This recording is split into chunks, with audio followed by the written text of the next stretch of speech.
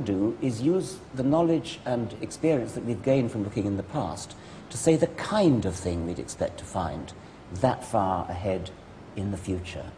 You can be pretty sure that in two million centuries there will have been several mass extinctions comparable to the one that polished off the dinosaurs 65 million years ago. Um, that one was caused by a comet or meteorite hitting the Earth. There'll probably be some more major strikes of Earth, catastrophic strikes of Earth, during the next two million centuries. So, whatever the pageant of life it was showing at any one time is going to be destroyed and destroyed again and destroyed again several times during that period. Will there be any predictable recurrences in each of those successive destructions? Probably yes, because we can look back at the destruction of the dinosaurs, at, at the destruction of the, the Permian e extinction. We've got other ones we can look at. And we see again and again what happens is that the, the fauna of the Earth is more or less totally wiped out. And then what takes its place is different in detail, but you get the same pattern coming out. So um, when the dinosaurs went extinct, uh, the mammals, they took about five million years to build up to strength.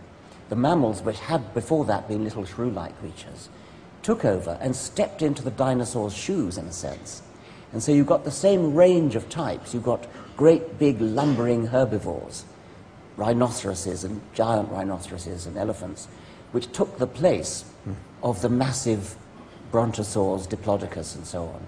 You've got uh, tigers and lions and saber-tooths, which took the place of the great um, dinosaur carnivores, the allosaurs and, and the tyrannosaurs. You had little mouse-like dinosaurs, and they were replaced by mammal mice. Um, flying, um, not actually dinosaurs, but pterodactyls, which were, which were similar to dinosaurs, uh, uh, and birds and, and, bats replaced them. So in two, two um, million centuries' time, we can expect to see a similar range of types.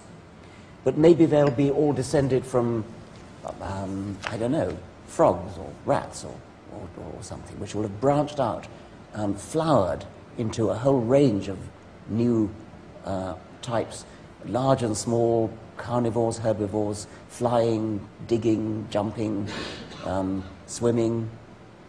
And, and can you predict?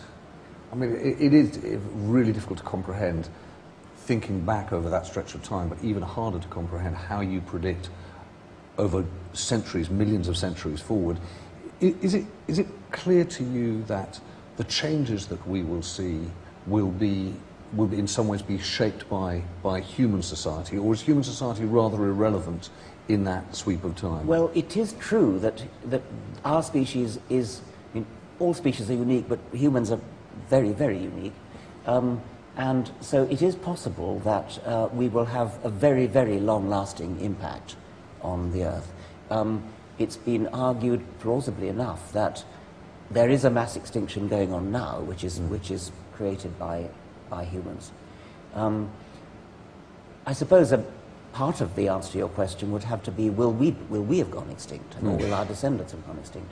Um, on past form, the answer is probably yes, because the great majority of species that ever, ever lived have gone extinct. On the other hand, um, we are so unique that it's possible that, that we, our technology might enable us not to go extinct. Hmm. And um, e e even a major catastrophe like the one that killed the dinosaurs, um, humans just might be able to go into underground bunkers and store food and store seed banks and, and all the sort of science fiction scenario mm. to, to, to survive a major catastrophe of that sort and then re-emerge from underground and repopulate the world. So it, it's a perfectly plausible science fiction scenario that the, the descendants of humans might indeed be still technologically advanced in, in, in hundreds of millions of years' time. Hmm. Can you talk about one other? We, we talked a little bit about time and this, this phrase of Darwin's, the hand of time. The other idea, of course, that we all struggle with when we're coming to terms with evolution is this idea that uh, which you touched upon obviously in The Blind Watchmaker, this idea that there is no single authority that is that is organising this, and yet at the same time it's not left to chance, that natural selection Yeah. has a process to it but not a clear, I would say, order. There are many people who think that there's, there are only two ways in which you can get highly organized, complicated things like living creatures. One is design, and the other is chance. And of course, if you think that, then it's no wonder you're skeptical about evolution, because if it really were chance, Yeah. it couldn't possibly give rise to uh, the um, wonderful panoply of complexity that we see. So it isn't chance and it isn't design. It's natural selection. Natural selection is an anti-chance process. It's a non-random process. And so this is another of the difficult things to grasp, and the hand of time is one of them. The absence of a controller, the absence of a, of a top-down governor, a designer, a creator, is very hard to mm. grasp because we're so used to the idea that complicated things that look as though they've been designed um, must have been designed. Well, they mustn't have been designed. They don't have to be designed. Natural selection will do the job as well. And that is a very hard concept for some people to grasp. And, and it's, it is particularly difficult because what you're saying here is that the opposite of a plan is not no plan, is not, is That's not right, chaos. yes. There, there, there, there, there never was a plan Mm. in, in evolution.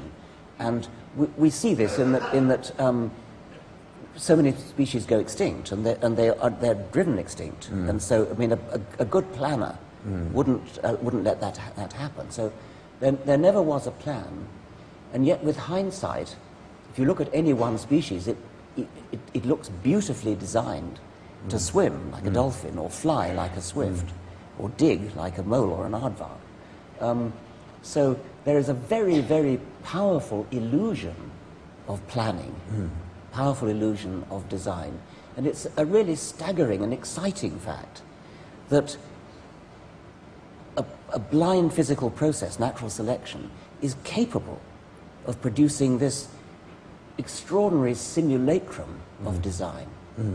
But then at the same time, I guess one of the things that I was really sort of impressed by the book that it does is it also explains why some animals are not very good at what they do. That if we talk a little bit for, about rats' teeth, for example, you, you explain to a certain extent why for a rat to get really good teeth would probably be for a rat to pay too high a price. Well, that's right. I mean, the, the passage about, about rats' teeth is actually something that, that w- would apply to man-made hmm. machines as well. I think the, the point there is that it's possible for either a machine or an animal, or indeed a tooth, to be too good for its job. Any engineer will tell you, um, don't tell me to build a perfect bridge. Tell me how much money I've got to spend on this bridge. And I will build you the best bridge that can be built for this budget. That's- That's a very uh, great o- oversimplification. Animals